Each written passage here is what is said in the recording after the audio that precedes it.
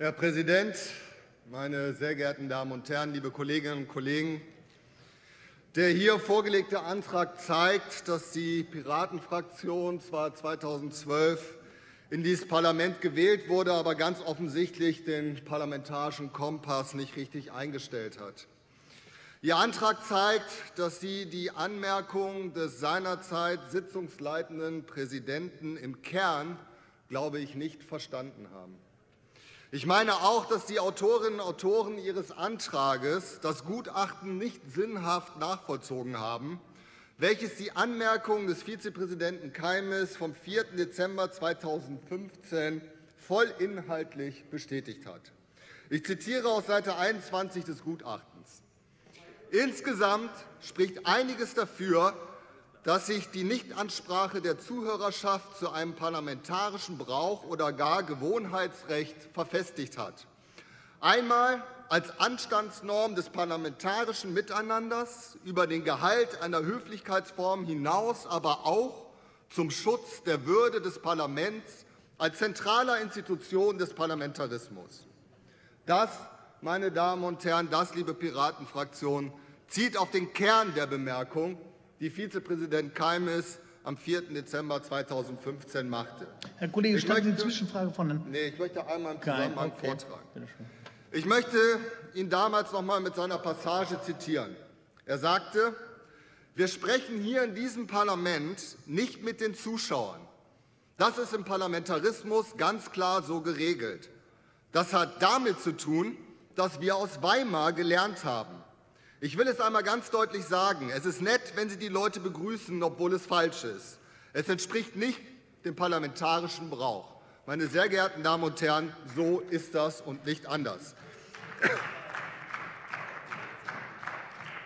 Unsere Parlamente arbeiten dem Prinzip nach als sogenannte Kollegialorgane.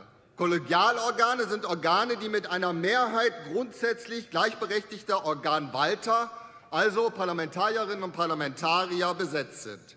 Wir alle als gewählte Volksvertreterinnen und Volksvertreter nehmen gemeinsam die dem Kollegialorgan zugrunde äh, zugeordneten Aufgaben und Zuständigkeiten wahr.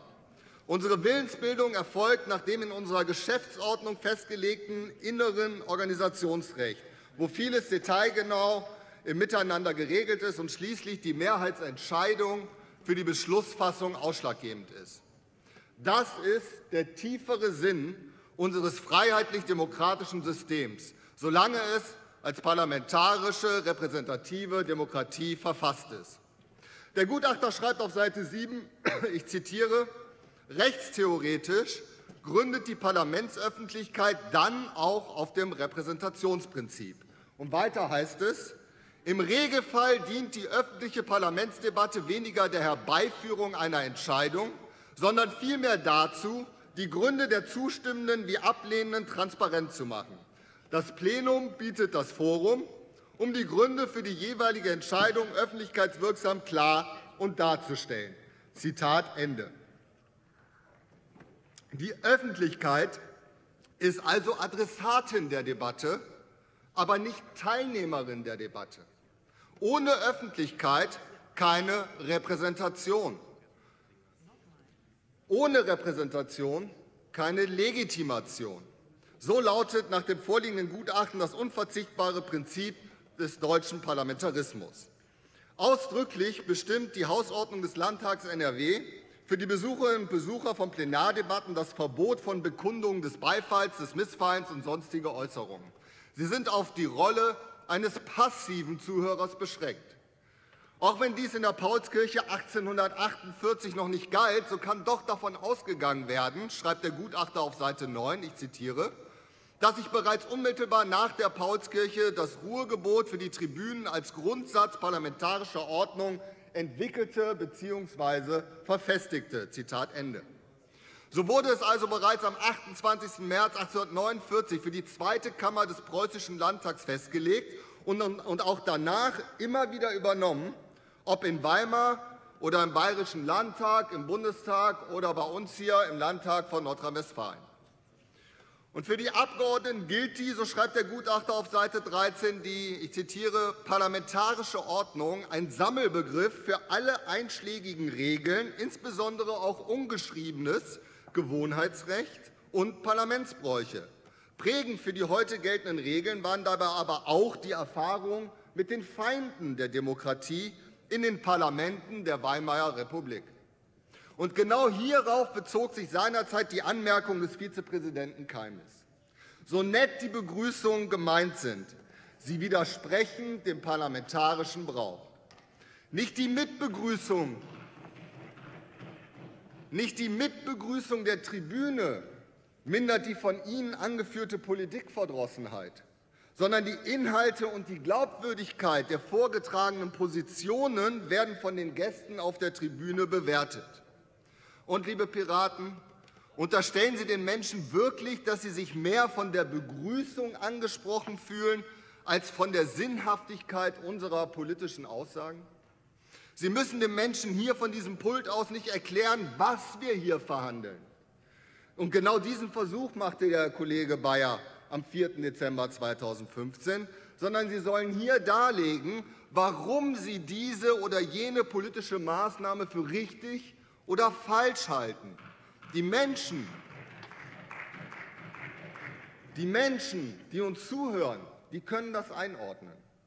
Meine Damen und Herren, wir verhandeln hier stellvertretend für die Menschen, die uns dieses Mandat dafür erteilt haben.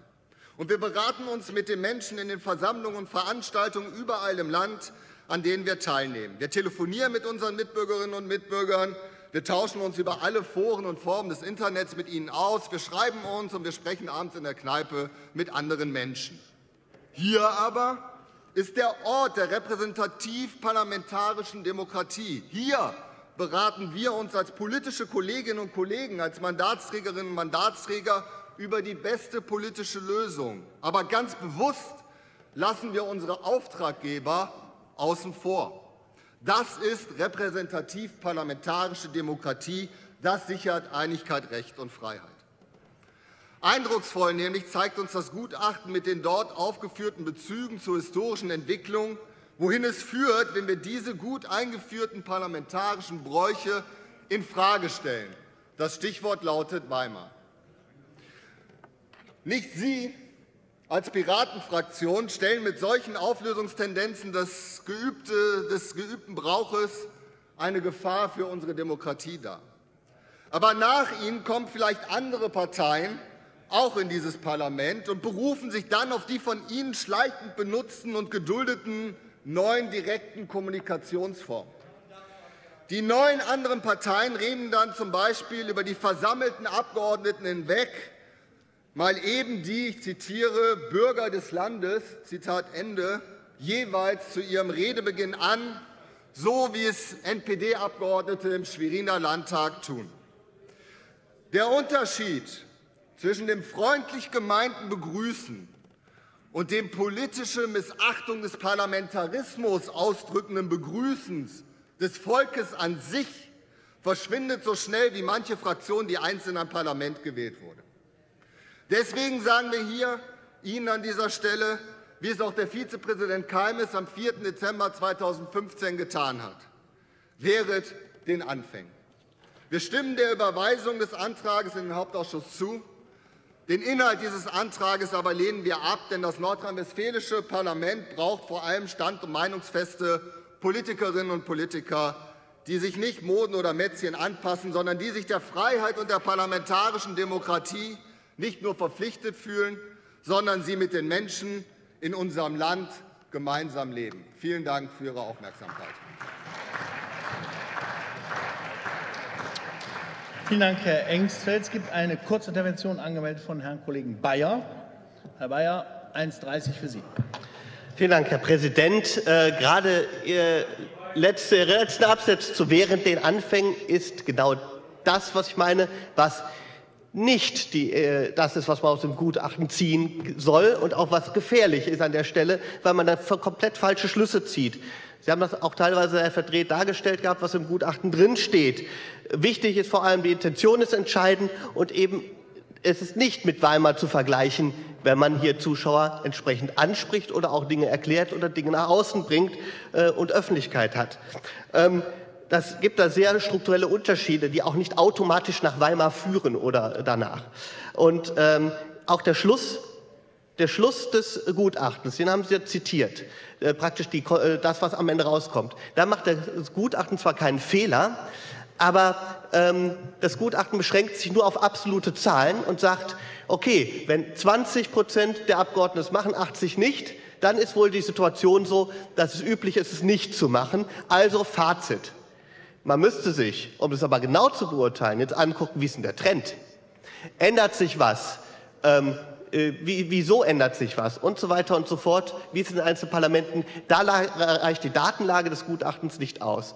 Ähm, ich interpretiere das sozusagen anders. Ich nehme die Formulierungen, die äh, Aussagen, die vorher im Gutachten gemacht werden, sage, wenn der Trend aber dahin geht, dass es zunimmt, dann äh, spricht das Gutachten im Grunde äh, für meine Argumentation. Man könnte Folgengutachten machen. Vielen Dank, Herr Kollege Bayer, für diese Kurzintervention, die jetzt auch akustisch deutlich besser zu verstehen war wie der erste Anlauf würde am Anfang nicht verwehren. Ich habe nicht die Aussagen aus dem Gutachten verdreht, so wie es gerade behauptet wurde. Das sehe ich nicht so. Natürlich kann man wahrscheinlich das eine oder andere anders rauslesen, aber diese Unterstellung möchte ich doch zurückweisen. Ich habe Ihrer Rede ja zugehört, Sie haben ja meiner zugehört. Wir haben da unterschiedliche Schlüsse und Argumentationswege. Ich habe die Gefahren, die wir sehen, dargestellt und dabei bleibe ich auch. Und ich freue mich auf die Debatte dann im Ausschuss.